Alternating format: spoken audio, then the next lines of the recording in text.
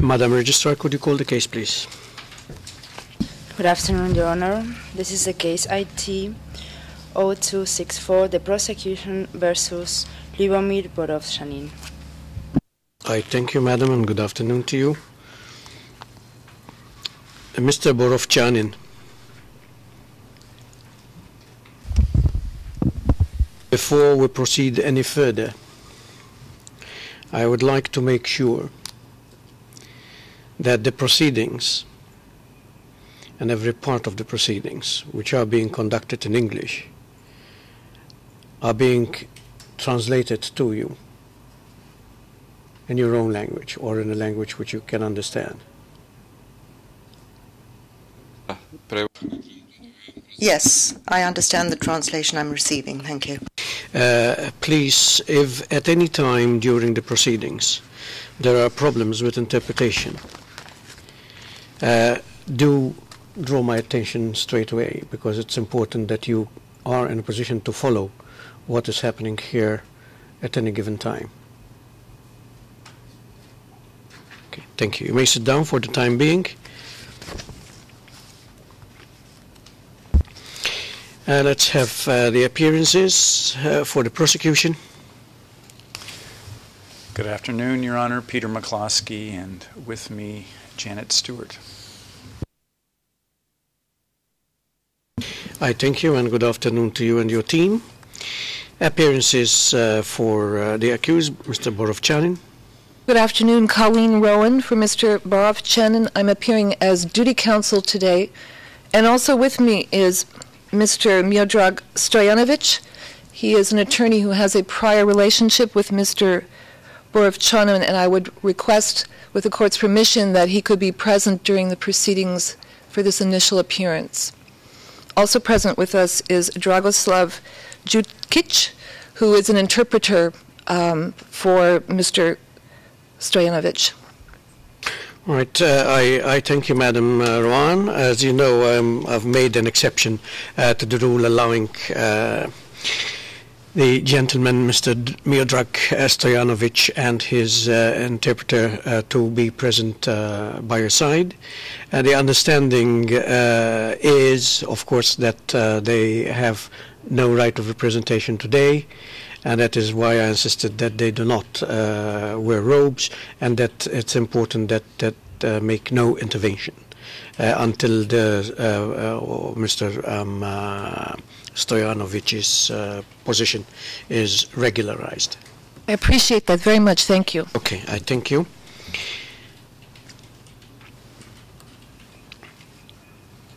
Now, um, uh, Mr. Borovčanin, again, something which, uh, to which I give uh, fundamental importance.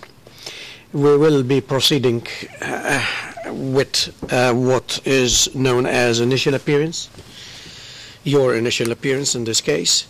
Uh, I, uh, it is my duty, my responsibility to uh, inform you that uh, before this tribunal, you enjoy a right to remain silent throughout the entire proceedings.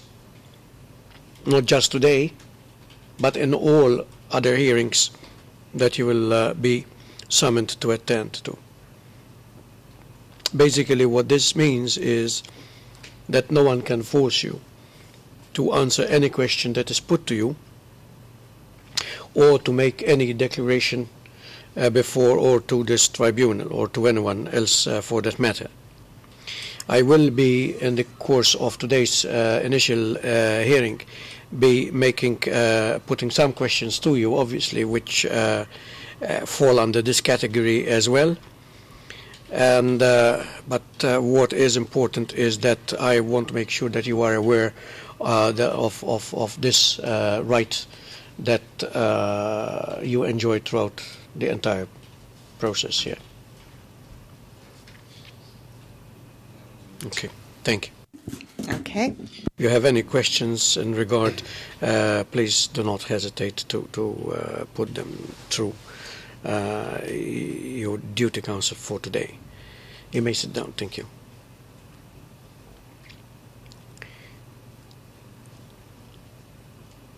Hvala, za sad ne, nema. Thank you. For the moment, I have no questions. You may sit down.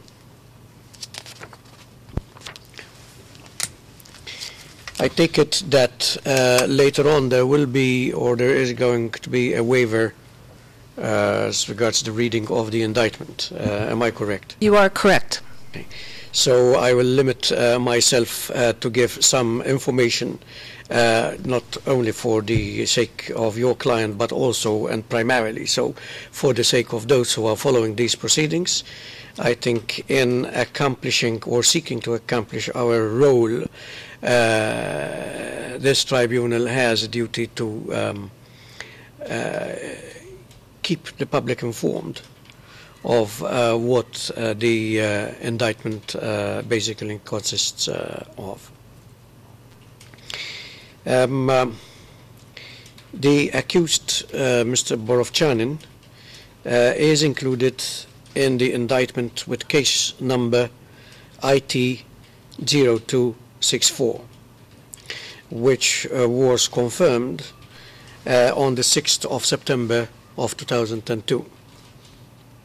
Actually, um, uh, it uh, was signed on the 6th of September in 2002 and was confirmed by my colleague, uh, Judge Wolfgang uh, Schomburg.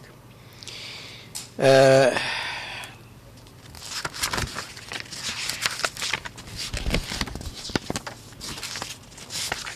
initially, it was under seal, but then it was uh, made uh, public uh, by an order of this tribunal on the 27th of September of the same year of 2002. The indictment is pretty much uh, detailed and uh, I will not, of course, go into each and every uh, detail that is contained therein but I will give the uh, basics. The indictment alleges that uh, you, Mr. Ljubomir, uh, Ljubomir Borovčanin, uh, uh, while you were deputy commander of the Special Police Brigade, which throughout the indictment is referred to as the SPB, of the MUP, which is the Ministry of Interior, that you were present in and around the areas of Bratunac, Potocari, Sandici, Kravica, Srebrenica, and Zvornik from the 11th of July to the 18th of July of 1995. According to the indictment, you were ordered to report to Radislav Krstić, who was then chief of staff of the Drina Corps of the VRS, which is the Bosnian Serb army. The indictment also alleges that units under your command were deployed in and around the areas of Potocari, Sandici, Kravica, and Zvornik from the 12th of July to the 18th of July of 1995.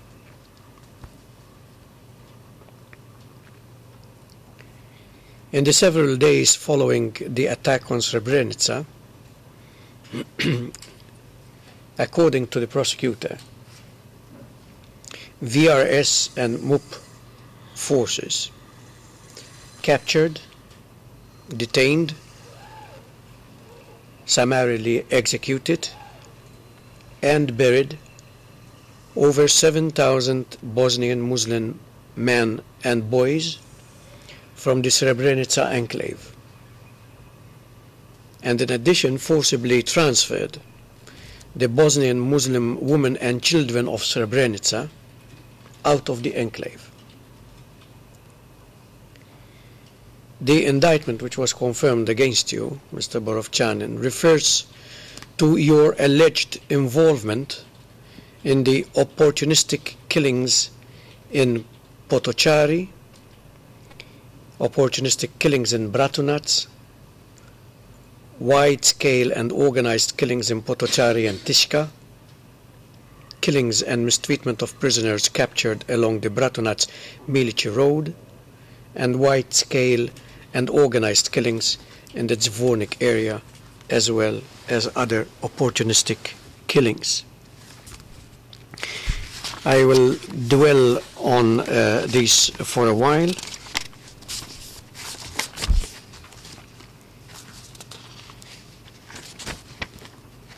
With regard to the opportunistic killings in Potocari,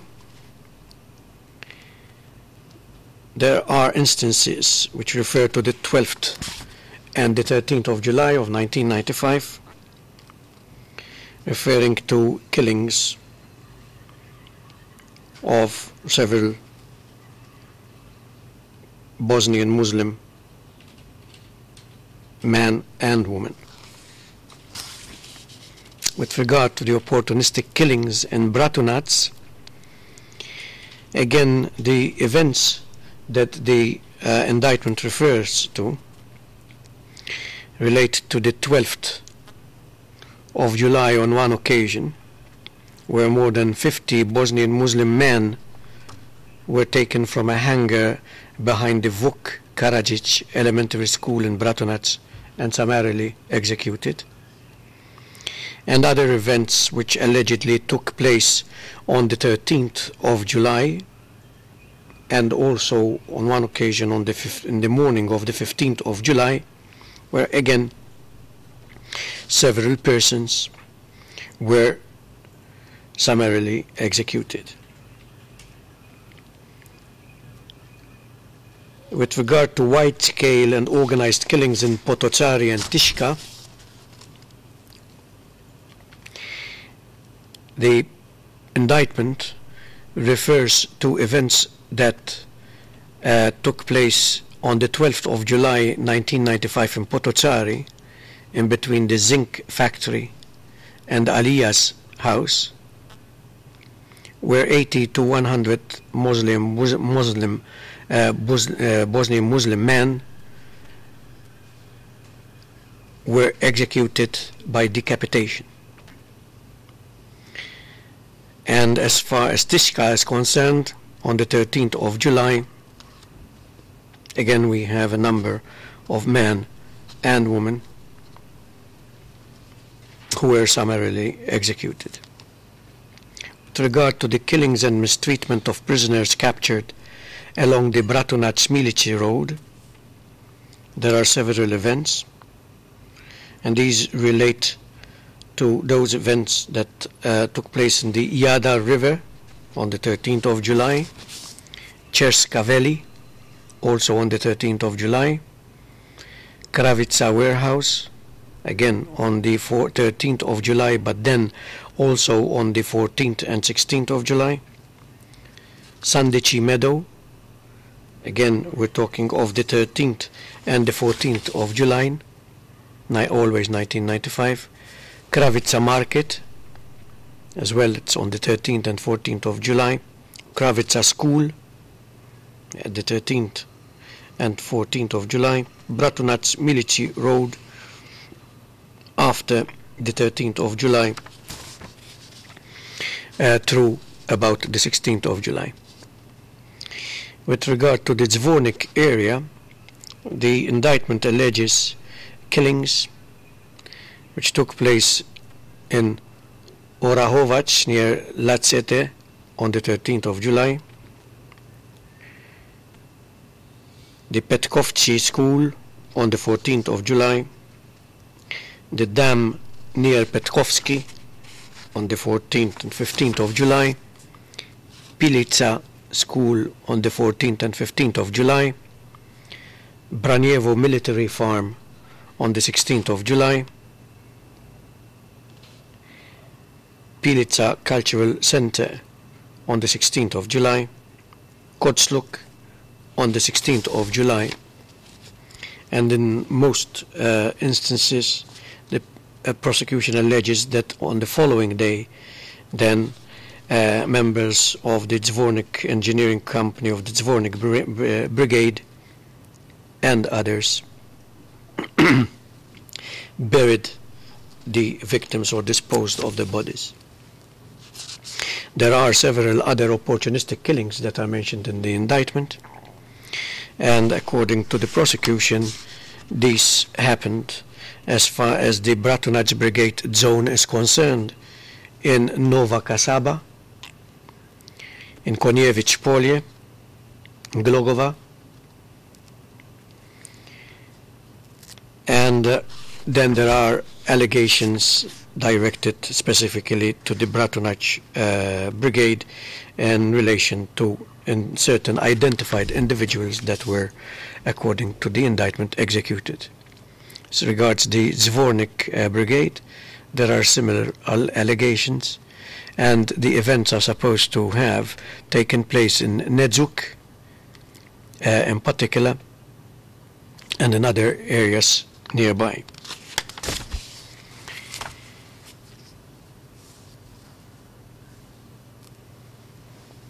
The prosecution uh, alleges also that uh, you, uh, Mr. Borovčanin, together with other VRS and MUP officers and units who are identified in the indictment, and uh, uh, which I don't need to repeat here.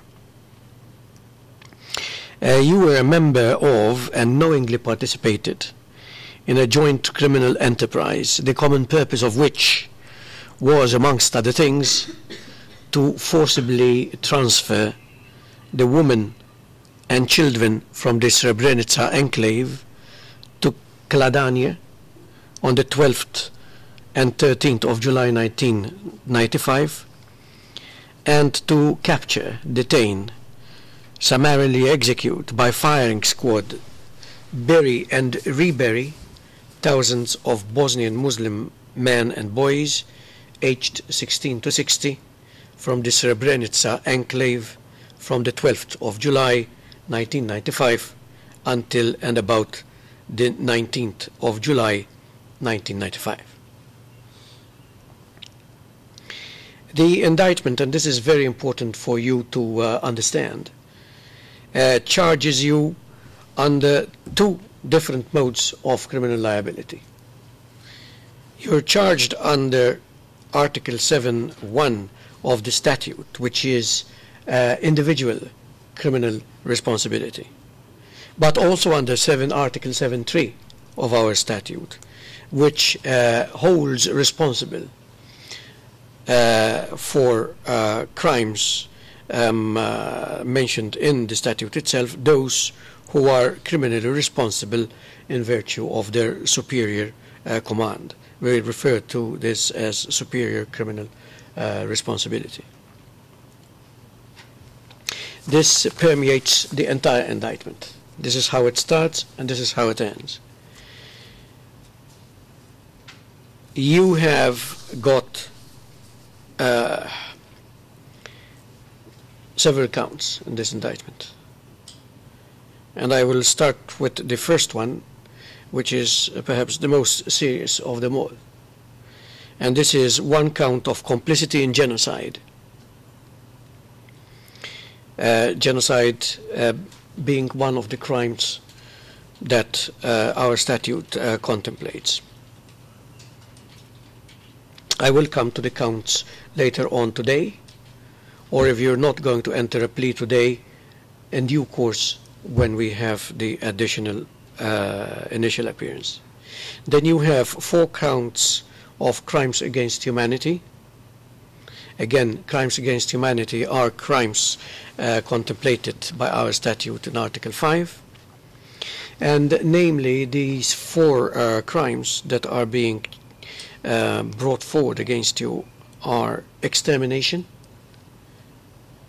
murder, persecution on political, racial, and religious grounds, and inhumane acts consisting in forcible transfer.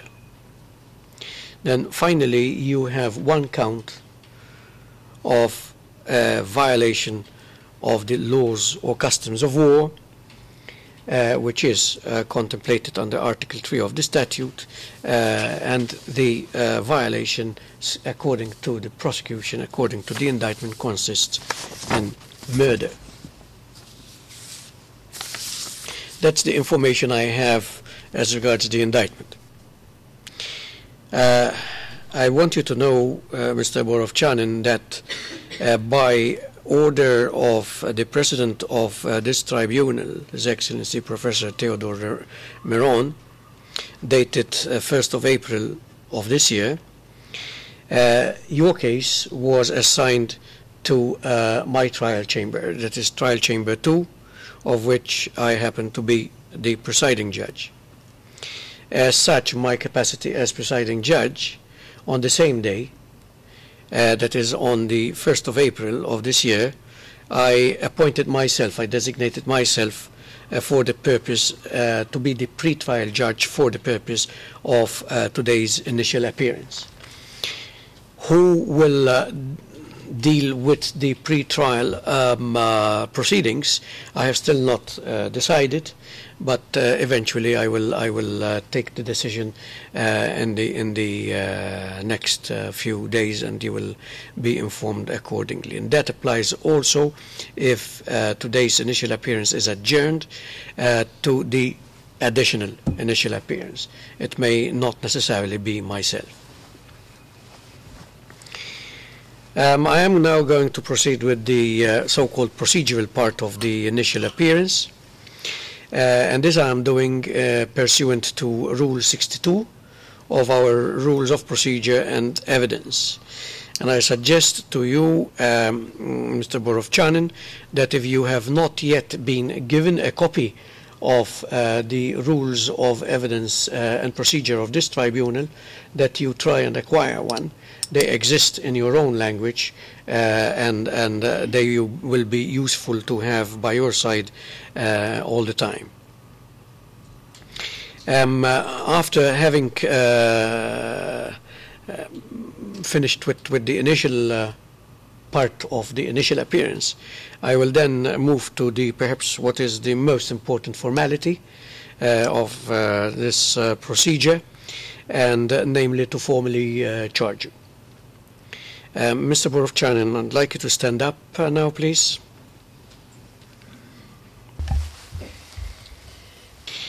Um, uh, first matter that I would like to raise uh, relates to legal representation. And this I am tasked to do by the statute uh, itself, apart from the rules. Uh, I did hear uh, Madame Colleen Rowan uh, state earlier on that uh, she has been appointed as duty counsel for the purpose of uh, today's initial appearance. And I do thank you, Madam, for having accepted in the first place. So as far as today's uh, representation is concerned, I would imagine that there is very little uh, to say on your part. But if you have anything to say, please speak out now. For the time being, only as regards the representation uh, during today's sitting by uh, Ms. Uh, Rowan.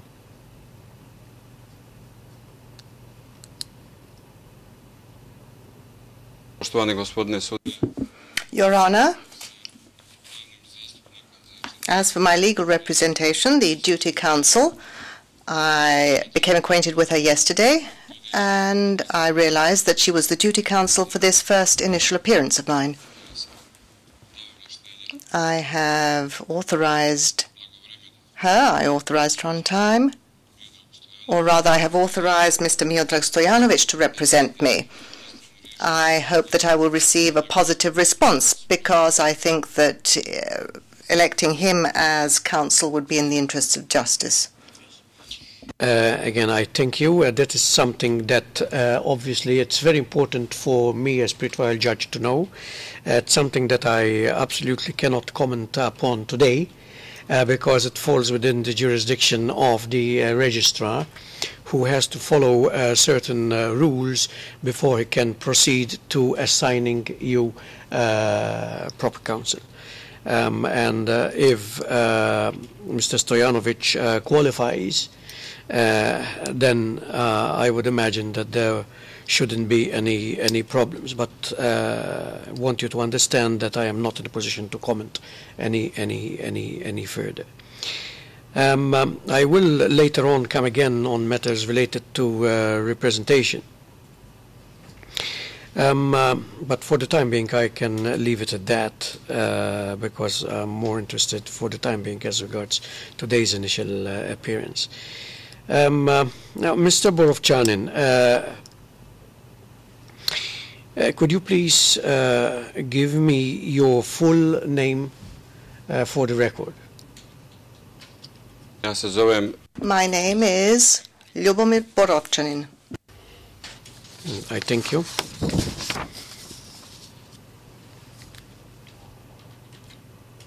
You're free to answer, uh, not to answer this question, um, uh, because it may uh, provide an answer that uh, could be later on useful uh, to the prosecution uh, in um, matters of identification. But do you have a nickname? imam nadimak Ljub Yes, I do. My nickname is Ljubisha. Mostly people call me Ljubisha. Okay. I thank you. Could I have your date of birth, please? I was born on the 27th of February 1960. And your place of birth, please? Dan Pjes, Han Pijesak, Bosnia-Herzegovina. And uh, could you tell us what your nationality is at present? nacionalnost sam Srbin. I'm a Serb by nationality.